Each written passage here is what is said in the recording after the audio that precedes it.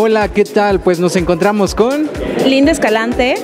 Y platícanos, ¿qué personaje interpretas en esta serie? Mi personaje es Ingrid, es una chica lesbiana que en realidad no está definida qué es lo que quiere, sin embargo encuentra el amor en otra mujer. ¿Y qué fue lo más difícil en esta serie? Hacer las escenas de cama. Sí, Sí, sí. Es, ¿Están interesantes? Muy intensas. Pues hay que verlas, ¿no? Para darse un taco de ojo.